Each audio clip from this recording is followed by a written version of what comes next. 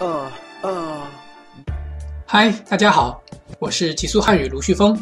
上一节课我们说了语言和文字的区别，这节课就接下来把几个常用词语的定义给大家梳理一下。这几个词在我们日常对话中出现的频率都很高，而且很多时候并不会严格区分，但是其意义是否有什么不同呢？如果单从字面上理解，中文应该是中国的文字，而中国是个多民族的国家，除了汉字之外，蒙、满、藏、壮等多个少数民族也都有其自己的文字，所以这也都应该包括在中文的范畴之内。可是现在一般默认都已经特指汉族的文字，由此引申也可以表示汉族的语言。那么汉语这个词的本意就是汉族的语言。可是，同样是汉族，中国几种常见方言的发音差异巨大，有些甚至语序都不同。如果一个温州人和一个广州人都只会说当地方言的话，他们是完全无法用语言沟通的。如果从西方语言学家的角度来说，就已经完全不能定义为同一种语言了。而在中国，则绝对不会有人否认他们说的都是汉语。所以，单从字面上来看，中文应该更偏向文字方面，而汉语则更偏向语言方面。但是在实际使用场景中，多数情况下双方可以互换。由于中国政府成立了中国国家汉语国际推广领导小组办公室，哇，好绕口！这个组织简称汉办，其规定在海外学习的中国语言称之为汉语。因此，在本系列课程中，我们全都统一使用汉语这个词。有一个学生曾经问我，是否可以说中语和汉文呢？我告诉他，在汉语中其实没有哪两个字是绝对不可以连起来用的。比方说，二零二零年之前，很少有人会把“兴”和“官”两个字连起来用，可现在则是家喻户晓。说不定哪一天，中语和汉文的说法也会出现。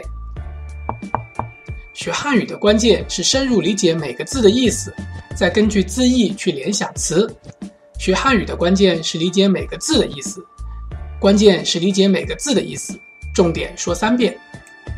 再说华语或华文，这种说法一般在海外用的比较多，因为在海外的中国人及其后裔一般称自己为华人或华侨，所以华语这种说法标志着他们对华夏子孙这个身份的认同。这个时候又有同学问我了。中国历史上从来没有一个朝代叫华朝，也没有一个地方叫华国、华州的。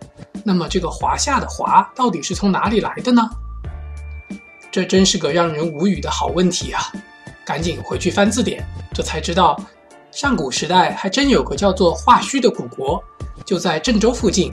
伏羲和女娲就是在那里诞生的，是最早用龙做图腾的部落。这就明白“华”这个字在汉语里的地位了吧？现在的华姓就是从这个华胥氏演变来的，以后见到姓华的朋友都可以尊称一声老祖宗了。不过话说回来，那我们自称华夏民族，好像有点读错别字的嫌疑啊。可是要叫华夏民族，这听着怎么这么别扭呢？最后，普通话则是中国官方规定的标准语言，英语将普通话称为 Mandarin，其实是满大人的音译，其意不言自明。中国自古以来，在朝廷的行政中心都有所谓官话的存在，而在没有录音设备的时代，想要在中国这么大的地方统一发音，显然是不可能的。解放后，随着科技的发展，普通话才得以全面推广。我们现在常说的中文和汉语，实际上都是在特指普通话了。因此，我们公司的中文名称叫做极速汉语。而根据英语选词力求准确的原则，我们使用了 Speedy Mandarin。可是有趣的是，这个名称无论汉语还是英语都无法注册为商标。被拒绝的理由是因为这是一个形容词加一个名词，就好像一个鞋厂不能给自己的产品起个名字叫好鞋。如果一定要注册极速汉语，除非我们不教汉语而改行去卖鞋。老规矩，在课程结束时说句题外话。今天的背景图是我们在泰国苏梅的龟岛海边拍摄的。是什么让这棵椰子树又突然决定往上涨了呢？好了，今天的课程就到这里。大家有什么问题，欢迎给我留言。我们下次课再见。